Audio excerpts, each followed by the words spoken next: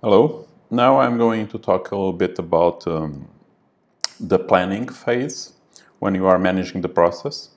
So basically I'm going to emphasize two different approaches to do it. But what they have in common actually is that you need to look at the work you, have, you need to do and divide you into tasks and identify the dependencies between tasks.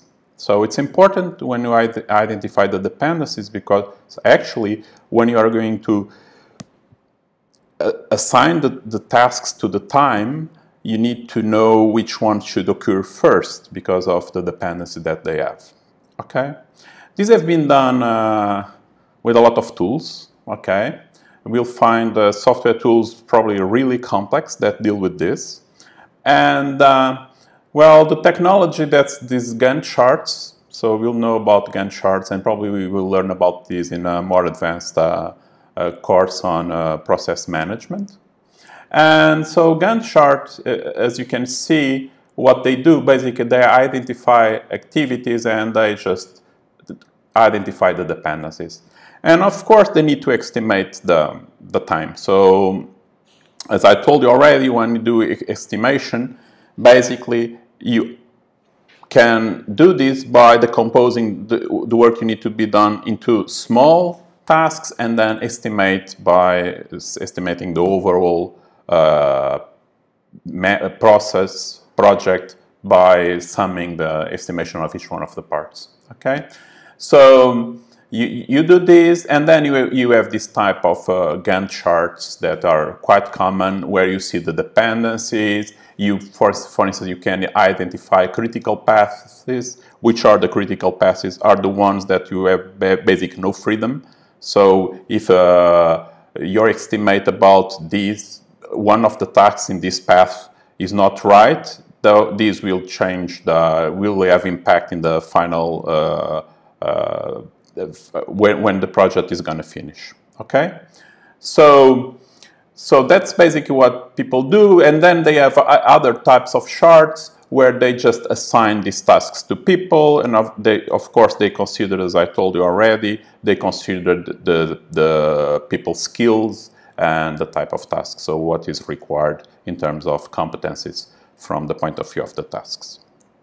So this is what is common between the, um, the two approaches, but actually there are two different approaches. One I would say that is bottom up, but uh, the top down.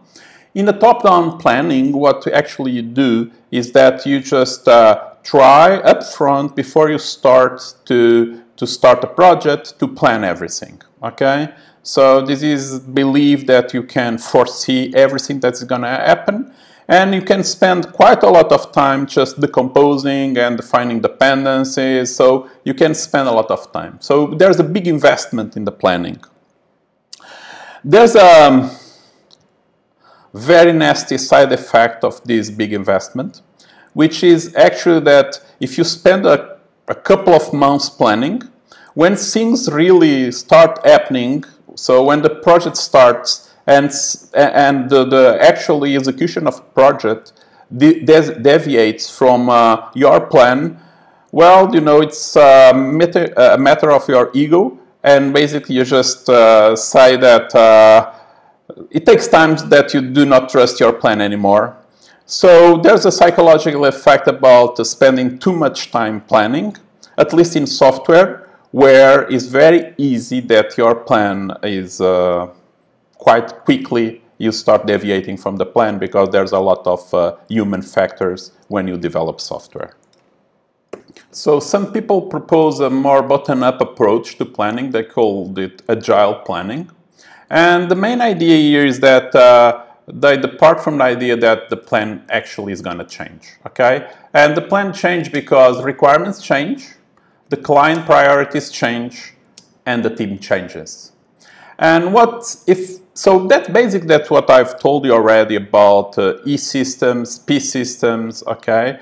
And so if this happens, why do we need a plan? Yes, yes, we need a plan. We need to use the information we have now to divide it to define what are the activities that we're going to perform. But not to spend too much time doing, doing it because maybe it's not going to be like that, but just to decide what to do next. What is important to do next? So to, to have a, uh, to foresee in a short distance, of course, but at least to know in this period whether when we start executing the, the, the project, whether we are deviating or not. And then, okay, it's important that we do not get ruled by the plan and continuously accommodate changes. Actually, this is the type of approach that we're going to see when I'm going to describe Scrum. Okay? Good? Thank you.